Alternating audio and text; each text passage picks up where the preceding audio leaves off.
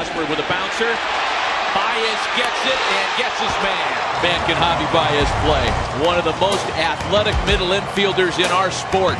Steve Cishek was demoted in August.